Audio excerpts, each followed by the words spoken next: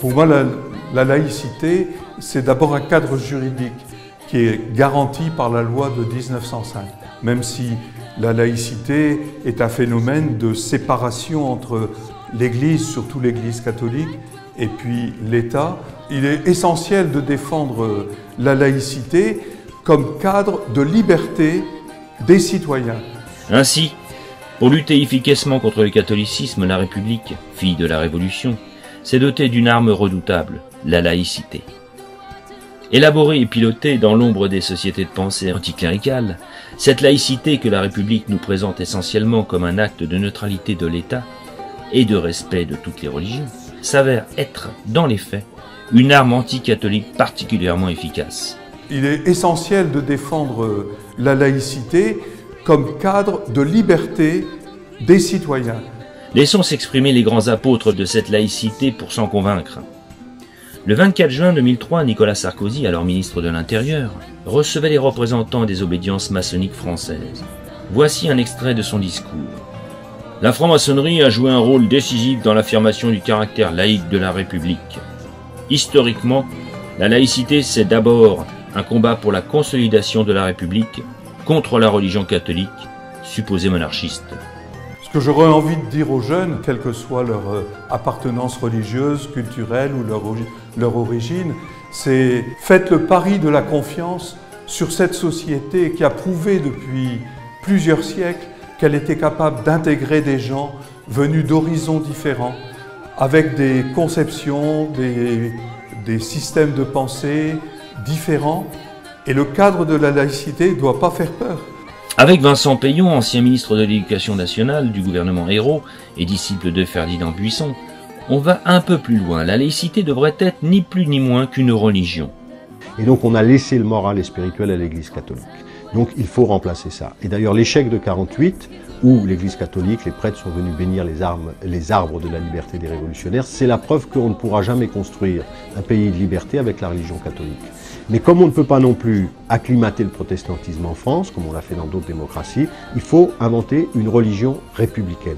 Cette religion républicaine, qui doit accompagner la révolution matérielle, mais qui est la révolution spirituelle, c'est la laïcité. Et c'est pour ça d'ailleurs qu'on a pu parler au début euh, du XXe siècle de foi laïque, de religion laïque, et que la laïcité voulait être la création d'un esprit public, d'une morale laïque, et donc l'adhésion à un certain nombre de valeurs. Et c'est un aveu de plus de la part d'un républicain franc-maçon. Essayez de, de, jouer le jeu de la laïcité. Profitez de la liberté qui, qui vous est faite, qui vous est donnée. On comprend mieux aussi cette lutte aussi puérile que stérile des associations de libres penseurs contre les crèches de Noël dans les lieux publics au nom de la laïcité. Quoi de plus logique quand on considère la laïcité comme étant une arme anticatholique avant tout? Au final, parler de laïcité républicaine comme étant avant tout une garantie du respect des religions et de la neutralité de l'État n'est qu'une vaste hypocrisie. Comme nous l'avons vu, la laïcité républicaine n'incite à aucun respect envers la religion catholique. Cette laïcité vise au contraire à faire disparaître toute influence de la religion catholique au sein du peuple français. La laïcité, c'est donner la chance pour que les différences se conjuguent et enrichissent le, tissu social et la vie en société.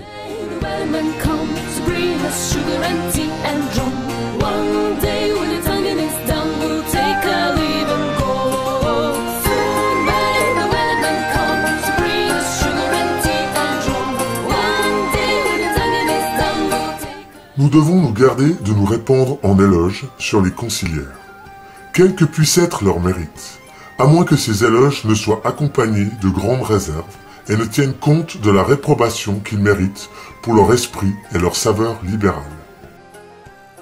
Beaucoup de catholiques, par trop naïfs, veulent être tenus pour impartiaux et se donner un vernis de savoir toujours flatteur. Aussi battent-ils la grosse caisse et soufflent-ils dans la trompette de la renommée en faveur de n'importe quelle action qui vient du camp libéral. En agissant ainsi, ils espèrent prouver qu'il n'en coûte pas aux catholiques de reconnaître le mérite partout où ils se trouvent. C'est, leur semble-t-il, un moyen d'attirer à soi l'ennemi. Malheureux système d'attraction qui nous fait jouer à qui perd gagne, puisque insensiblement c'est nous qui sommes attirés. Qu'importe que leur mérite soit grand ou non, s'il sert à perdre les âmes que nous devons sauver. Autant voudrait savoir gré aux bandits du brillant de l'épée avec laquelle ils nous assaillent, ou des damasquinures qui ornent le fusil avec lequel ils tirent sur nous. Comment serait-il donc possible que nous, catholiques, nous nous fissions des complices de ces sirènes de l'enfer? Que d'intelligence et de cœur ont été perdus par le malheureux Montini Combien par l'impie Vostila Combien presque de nos jours par le déplorable Bergoglio. Pourquoi rendre à la Révolution le service de prôner ses gloires funestes? Dans quel but? Pour paraître impartial? Non.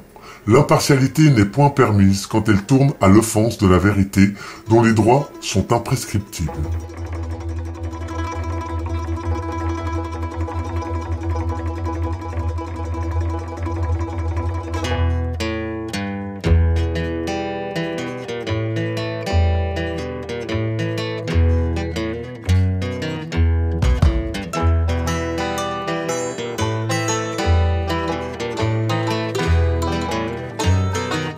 La charité est une vertu surnaturelle qui nous incline à aimer Dieu par-dessus toute chose et le prochain comme nous-mêmes, pour l'amour de Dieu.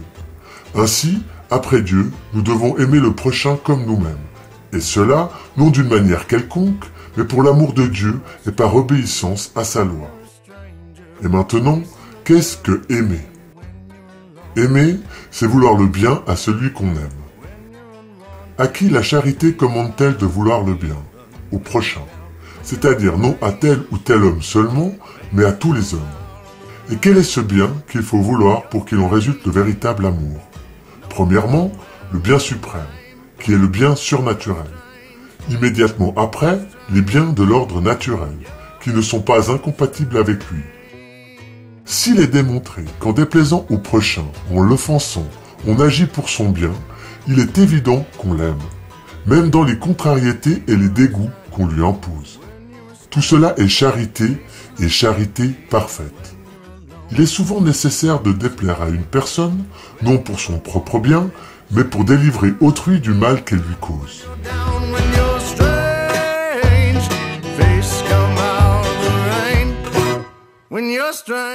Le bien de tous les biens est la gloire divine.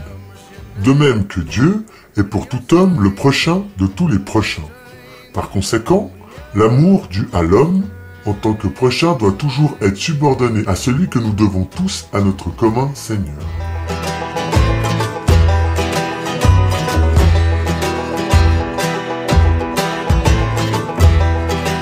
Le libéralisme moderne ne l'entend pas ainsi, ce en quoi il a tort. De là vient qu'il se fait et donne une notion fausse de la charité à ses adeptes. Par ses apostrophes et ses accusations banales d'intolérance et d'intransigeance sans cesse renouvelées, il déconcerte même des catholiques très fermes.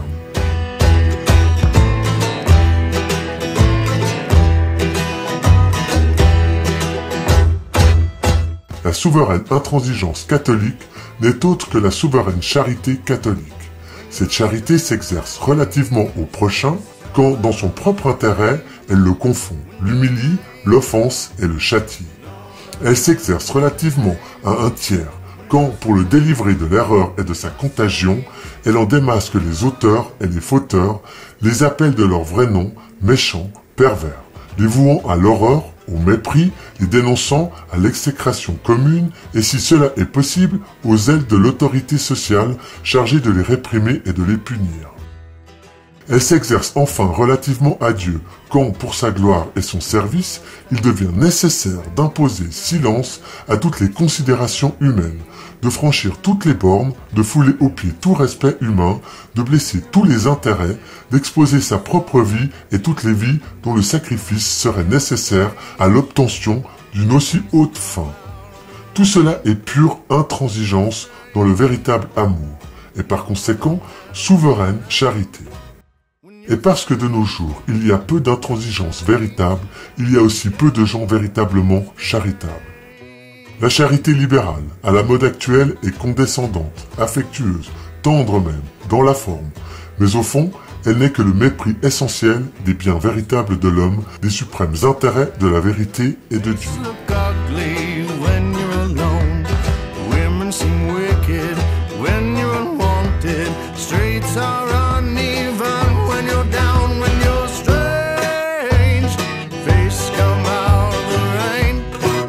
When you're strange. No one remembers your name when you're strange, when you're strange.